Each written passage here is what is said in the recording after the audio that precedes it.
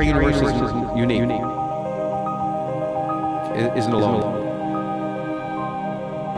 Lawrence Krauss explains the theory of the multiverse on The Joe Rogan Show.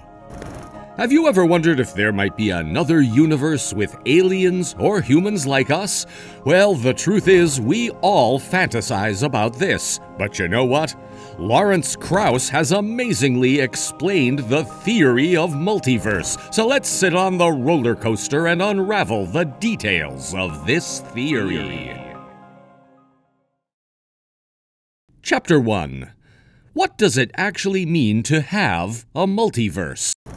Cosmology and physics propose that our universe is not unique in its kind, and there are multiple other possibilities of existence for infinite universes in space. The term multiverse is proposed by scientists and cosmologists to give the idea of the existence of other universes in space. Although there is no experimental evidence of this theoretical framework, yet the way our space is behaving and all the things going on in it propose the existence of other universes with different people and atmospheres. But why do we believe that there is a multiverse? Are there any convincing theoretical arguments for the existence of multiverses that we had not yet reached? That's what Lawrence Krauss had explained in detail, so let's see what he proposes about the existence of a multiverse. Chapter 2 Does multiverse exist according to Lawrence Krauss? Some physicists and cosmologists may be ignorant or neglect this fact if they say our universe is not expanding anymore. The expanding universe brings out lots of work and needs to do more research and come out with results and theories. This might burden most cosmologists, which is why they deny this reality and surpass it to negligence. And as far as we can tell, the most likely possibility is that our universe will expand forever. But to make you a little bit happier, it's quite possible. the best pictures that we have of our the early universe is that we actually our universe isn't unique. And will continue to expand forever. From the very beginning, our conception of our universe and our mental picture suggest that we are not alone. In fact, there are possibilities of the existence of other universes, which we call a multiverse.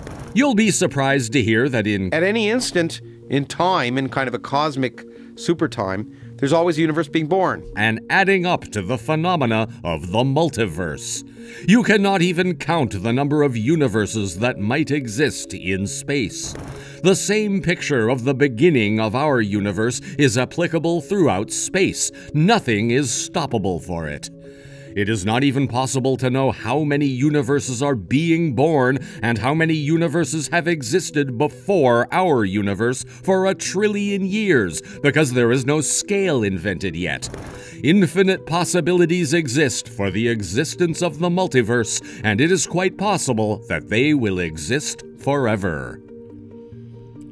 Chapter 3 Can we see these other universes? Now, grabbing upon the theory of the multiverse, the first question that comes up in your mind could be Where are they? Outside of our universe. just like Joe Rogan asked Lawrence Krauss. Where are they? So the answer is these expected multi universes are outside of our universe, but the reason we are unable to see them might have lots of beliefs. Possibly these universes exist outside of the region we have yet to explore. There are so many possibilities in our universe that it is impossible to even think of them all. We are tiny humans who have not yet reached every corner of space. There are still boundaries, or you may say edges of limitations of our visibility in space. While the colossal theory most cosmologists and physicists deny is the continuous expansion of space faster than the speed of light. Yes, your ears have heard my words right. Because, you know, we taught you in school nothing can travel faster than light. You may remember that from school. Right. We lied. In reality, this statement is the biggest lie in the world. Do you know why? Space is expanding even faster than the speed of light. The main idea is that nothing can travel faster in space than the speed of light, but we have never talked about the speed of space expansion and how fast it is. Imagine a multiverse at the other end of the galaxy, currently at rest and not moving at all. But on the other hand, the space between us is constantly expanding. So you get the idea of it? Even if the light from those galaxies and universes travels at an exponential speed, it's still unable to reach us because the distance between them and our universe is increasing at an even higher speed. This is what you can call a horizon. It is our limitation beyond which we can never reach, and we can never see them because our space is constantly expanding way faster than the speed of light. And the most exciting thing is that these regions where we have no excess might have remarkable histories and stories of the beginning of their existence, which we cannot even fantasize about. Chapter 4 Lawrence Krauss's definition of the universe. Everything that is confined to our horizon has a well known explanation by us about its beginning, which is the Big Bang expansion.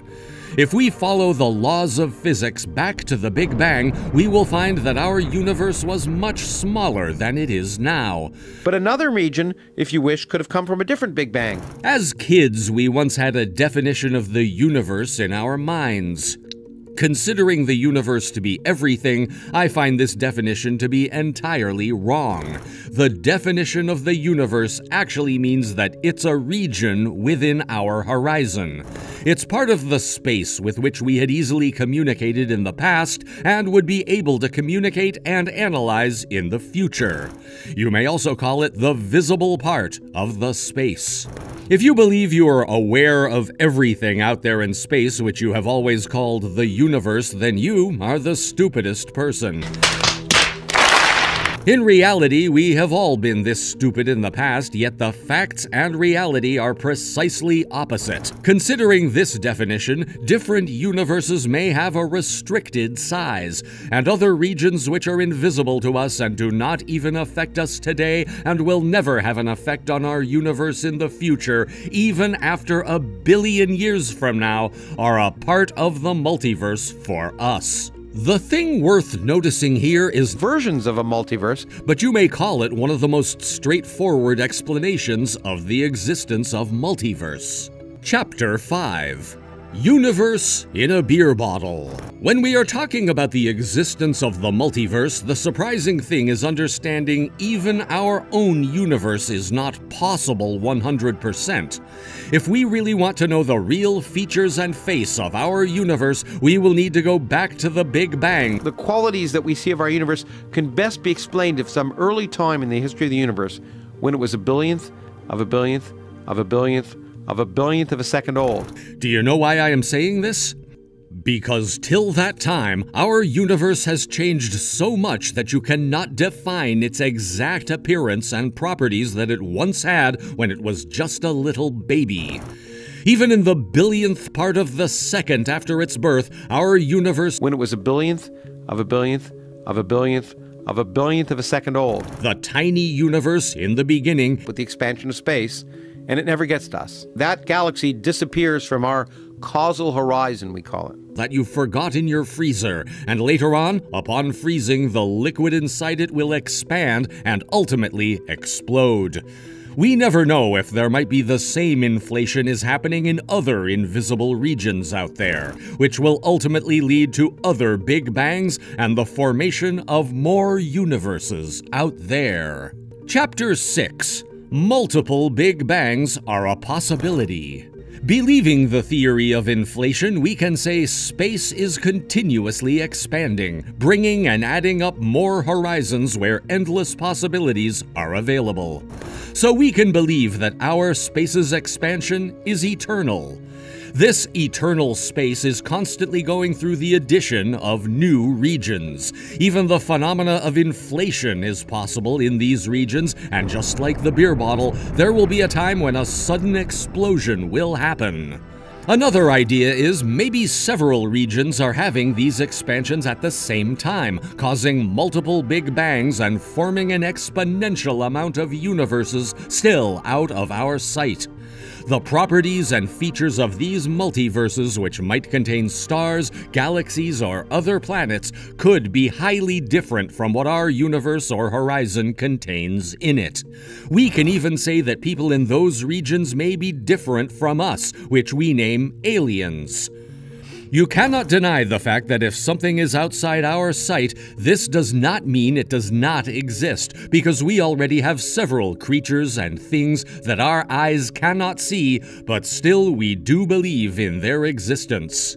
In the same manner, following the theories of expansion and quantum mechanics, we can very clearly believe the fact that multiverses exist. Hey folks, we will end our video here, believing that you have understood the theory of multiverse by Lawrence Krauss. Now the next time you think about whether there are any other universes out there, you will have a logical explanation to answer your mind. Let us know in the comments below if you enjoyed watching this video and do remember to hit the like button. We promise to bring you more amazing videos in the future so you can broaden your understanding of our universe and beyond.